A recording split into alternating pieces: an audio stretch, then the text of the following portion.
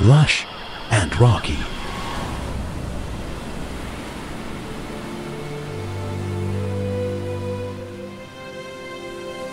Protected by high cliffs, towering mountains, and massive ocean swells, Dominica was a natural fortress.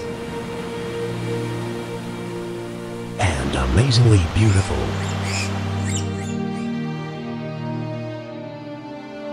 It lived through turbulent past. I'm on the southern tip of Dominica.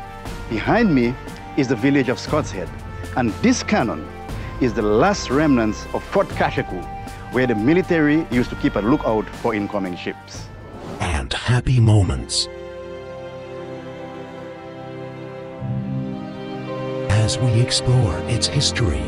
I'm standing at the old Roseau Market in Roseau, where during colonial times, slaves were bought and sold. And its creation.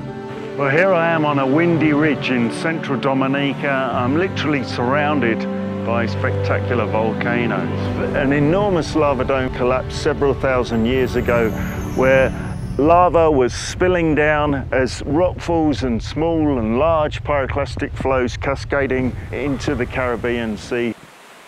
Meet its people. My name is Moses. I live here all the days of my life. And discover its natural wonders.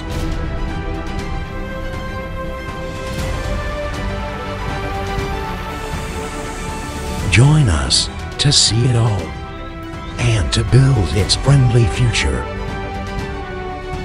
And you may discover it is your future too.